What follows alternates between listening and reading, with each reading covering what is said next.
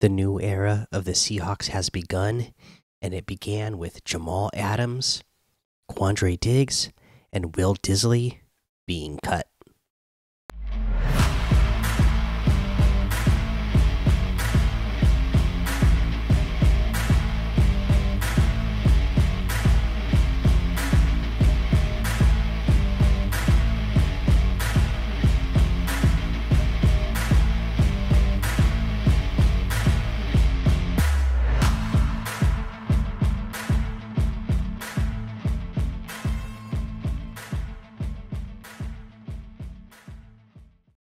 Welcome back to another episode of Seattle Sports Show, where we love Seattle Pro Sports. I'm your host, Mikey, and we are here to talk about the breaking news that happened today with Jamal Adams, Quandre Diggs, and Will Dissly all being released from the Seahawks.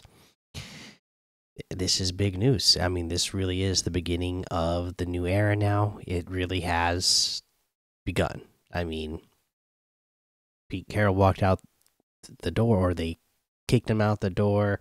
They brought Mike Macdonald in, but that didn't really feel like the start of anything new yet because nothing else had really changed. They had to figure out what else was going on. But now that the roster moves are actually happening, it feels like the new era has truly begun now. They have evaluated players evaluated contract situations and they have started to make moves. Now, by no means do I think this is the end of the moves that have been made that are going to be made, but um, this is the start. And we'll see how the dominoes fall from here.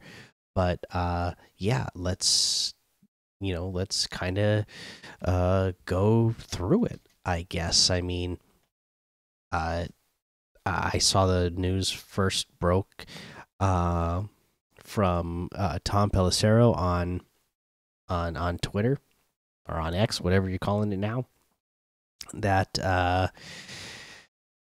you know all three players were released, uh, and it's uh it, it it's you know it, it it's a big deal. It's it's big moves. We're talking about um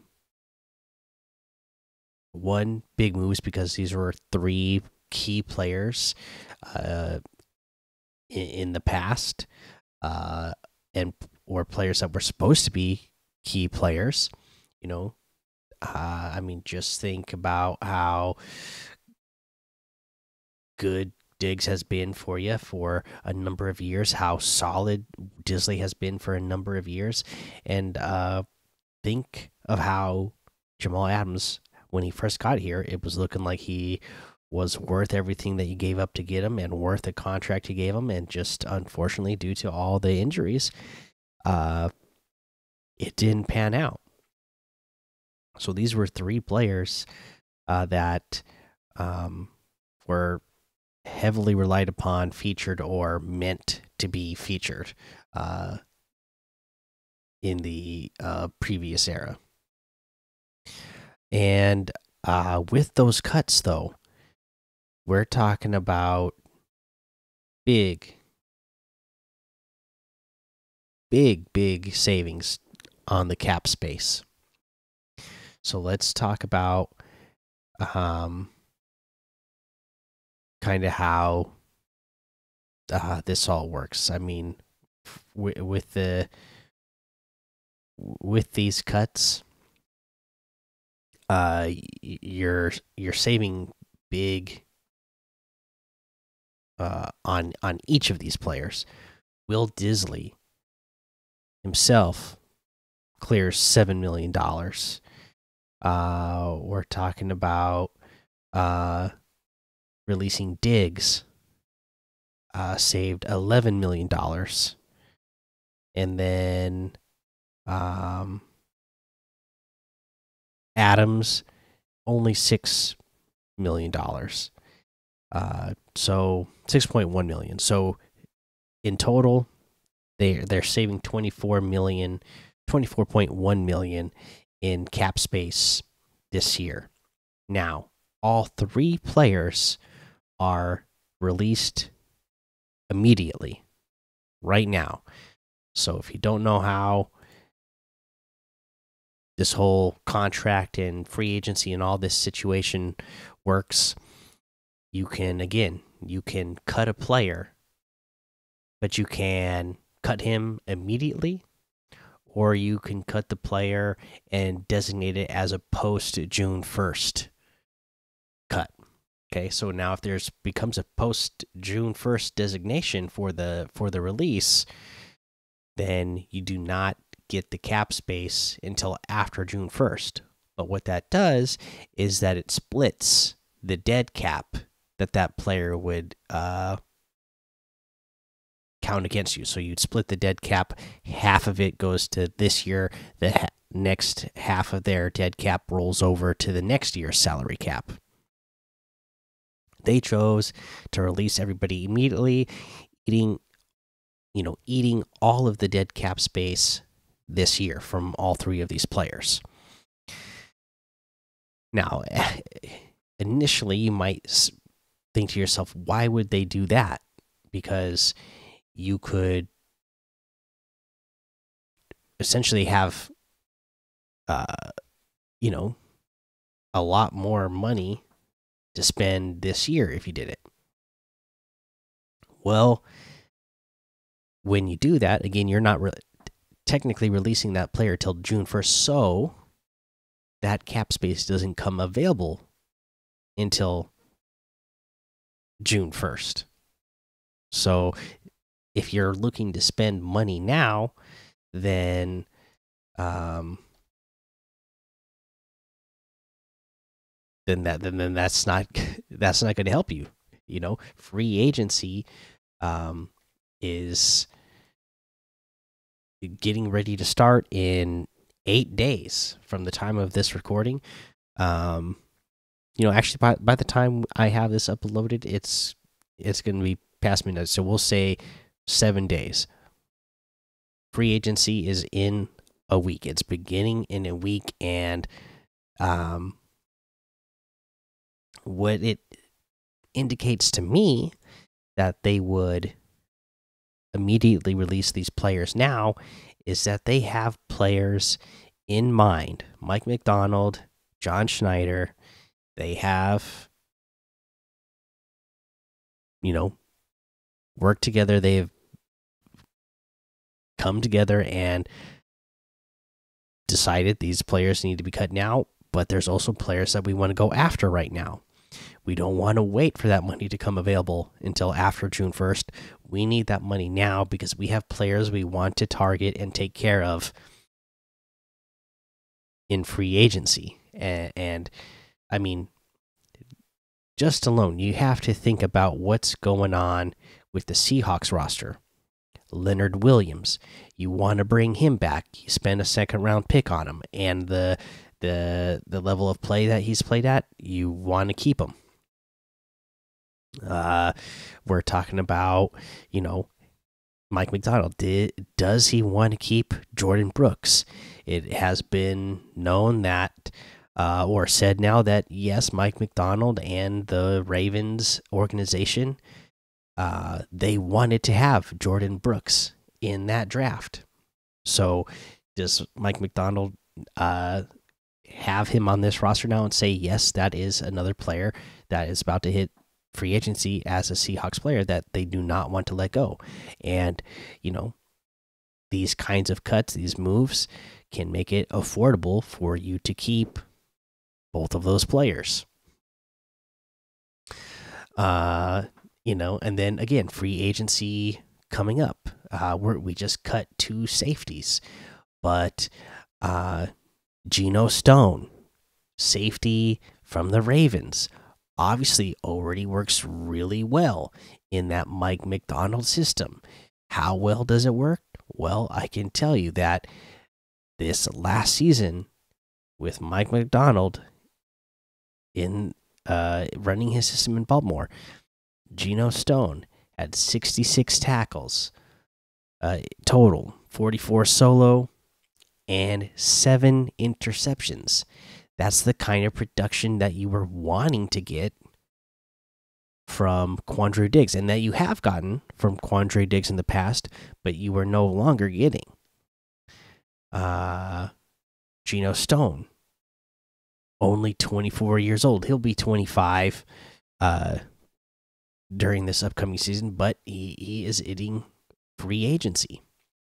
And uh, you are talking about uh, right now, if you go to spotrac.com, they're estimating that he is going to get somewhere around $7.2 million uh, per year uh, on a deal. That is about we'll we'll round okay we're gonna round this up and we're gonna say that's about four times less than what you're paying uh, Jamal Adams or Quandre Diggs. So if you can get a player who's younger, who's coming off a more productive year, and get him three to four times less than what you just cut, then yeah, that is going to, you know, I could see that being um, a target that they want to go after in free agency and they want that money now so that they're actually able to do it. Okay, so uh, to me, I think it's a very smart move to release all these players now and not do the the post June first designation, um, because yes, you do get more money, but you're by the time that money becomes available, free agents you're not you're not going to have the major free agents you want. You don't you don't want to be sitting on your hands waiting and hoping that the players you want uh, don't accept any other contracts for the next few months. You know, you, you don't want to tell Geno Stone, you don't want to tell Leonard Williams, you don't want to tell uh, Jordyn Brooks, hey guys, uh, don't go sign other contracts with other teams right now. I know they're offering you a lot of money, and it would be great to have that security and get that uh, right now. But just wait, we're we're gonna have money coming in a few months, and and we can offer you a deal then. That that's not how it works. that's not how real life works. If a if if a uh, if a player is wanted by a team and they're being offered a lot of money by that team, they're going to go. So the Seahawks need to free up money now, and they need to have it available to uh, offer to the players that they want. Whether that's the their own free agents that they're wanting to keep, or if it's free agents uh, that are you know out there on the market that uh, they'd like to go after. So uh, to me, I, I think it looks like a really good move uh, to do it now. Uh, it's to me a great idea also because again you're not you're not pushing off any of that dead cap space into next season. Uh, you know you're looking at a, a situation now where they can, uh, you know, again it'll still be a very new coaching staff, uh, still very new into uh, getting, you know, retooling the team. And if there's more things that they feel they need to retool next season, they don't have to worry about um, tens of millions of dollars in, in dead cap going against the cap next year. It's all that's going to be free, and they'll be able to use that to go after whatever free agents they need to go after next year. Or it gives more flexibility to structure contracts this year so that uh, you know again they can do signing bonuses so that they can do um, you know other cuts or whatever they need to do for next season and building team next season. I mean, when you're when you're a GM, you can't just think about it as the season that's right in front of you. You have to plan years in advance. So uh, to me, that's what John Schneider did with this move, and um, it, to me, it looks like a really smart move. Um, let's see. Um, I, I, I guess that's all there is to tell you right now. That's that's the news with this. Um, it, it, it it's big moves. Like I said, I don't expect it to be the last of what we're seeing uh, out of moves with the Seahawks. Uh, before free agency starts again in just a week. We're looking at, you know, uh, Tyler uh, Lockett's contract. What does that look like? Um, you know, do do do they restructure him? Do they trade him? Like, what are they going to do with that big contract? Um, there's so many different ways th this could go, uh, and, and, it's just not. Uh, uh, Tyler Lockett. There, there's other players, um, on on on this team that, uh, you know, still moves can be made with them. Uh, I mean, just looking kind of, uh, around the lot roster. I mean, what have you really gotten out of, um, Bryan Mone at this point? you haven't you haven't got you haven't gotten anything uh and um there's five million dollars. Now with with him uh they do need to do a physical uh and if he is indeed still injured at this point then you're talking about you know having to do some sort of settlement. And so maybe you wouldn't get all you know 5.3 million dollars um that you could potentially save. You'd have to do like some sort of injury settlement with him, and uh, you don't get to have it all. But that is either way, he he is an option. Uh, you know, uh, who else is like a pre June? Um, you know, there, there, there's a lot of players actually that uh, they might decide that they just don't want you know, um, that you cut enough of them, it it, it adds up. So uh, we're we're talking about the Seahawks being able to free up a lot of cap space very fast uh, if they want to. Uh, I, I, mean, at this point, they are sitting uh, at about we'll we'll call it we will just round it off. We'll call it like thirty eight million dollars uh, in cap space that they're sitting at about right now. Uh, so they can easily, uh, with just a couple more moves again, um, depending on what they want to do with Tyler Lockett, restructuring, redoing this, redoing that, whatever, you know, um, how they want to do that.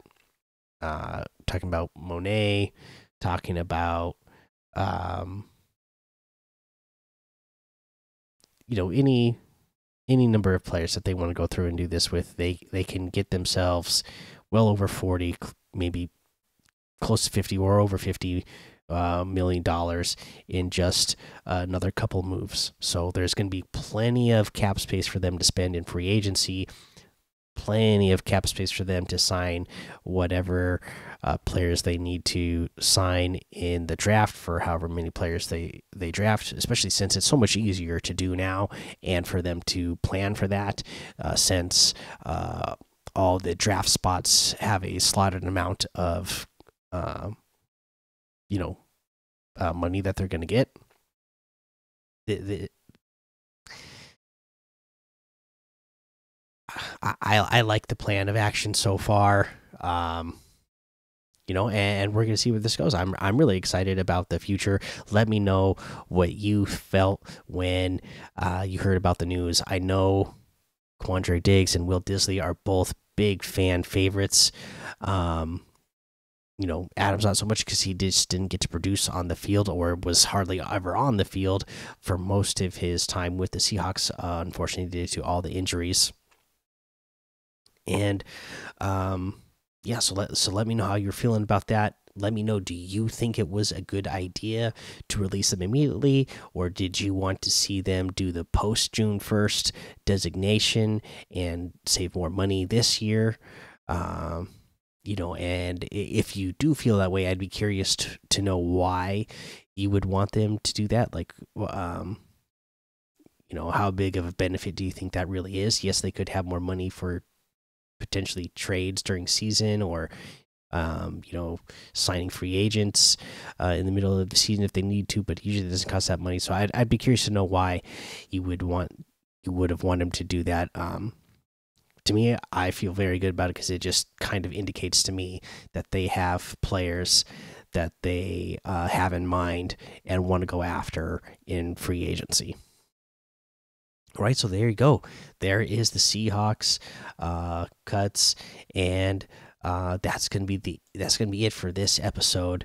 Um, we just had a break, uh, you know, or talk about that breaking news that we got earlier today. So, um, you know, make sure you hit the subscribe button, the like button. Again, comment. Let me know how you're feeling about it.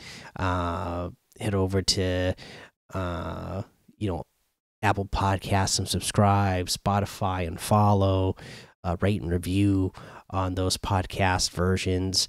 And uh, thanks for listening to the Seattle Sports Show, where we watch legends awaken. So take cover, because with the sea of sound, you will rise. You will see, you will see us rise to reign supreme and win forever.